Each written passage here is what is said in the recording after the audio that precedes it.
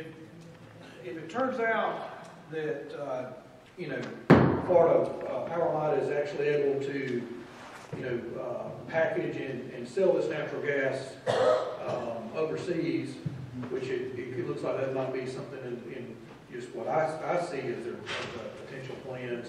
Um, I know there's a, a large amount coming out of Louisiana now that's, that's going back overseas to China and back to Europe. Um, do they still have the right of eminent domain whenever they, uh, are, are coming after our property? So the question is about the export of natural gas and the eminent domain rights there. This project, in my understanding, what I've read in the documents, is there is no exportation of this gas. That's not what the purpose of this project is.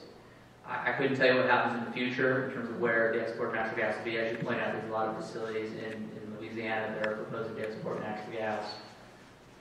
The eminent domain is for the transmission of natural gas to the endpoint and to the users there, so that it it would still maintain. Is- To answer your question, yes. it would Unless, unless we find some, some, uh, hidden mystery document that we just, that, that's gonna be, um, eminent domain will still be in, in, in, in control. If the commission issues a certificate, certificate for the project, that comes with the right of eminent domain. Gotcha. I'd like to expand upon that.